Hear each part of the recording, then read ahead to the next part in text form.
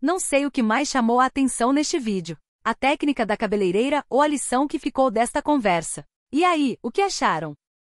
Eu era, eu não era depiladora. Na, verdade, eu não era cabeleireira. Eu era, eu era depiladora. Só que a minha irmã Priscila, ela já era cabeleireira. E aí, eu, aí ela me indicou esse trabalho, que eu gostava muito de depilação. Ela é sem fazer depilação. E aí ela me indicou.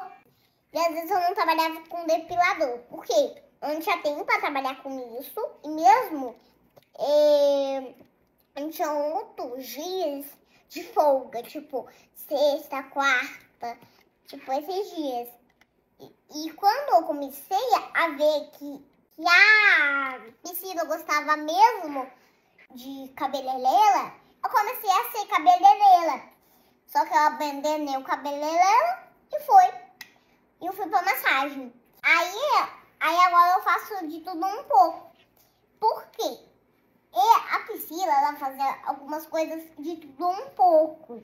E eu aprendi que era bom fazer de tudo um pouco. Aí eu fui fazendo, fazendo, fazendo. Mas o legal é que deu certo, né? Deu.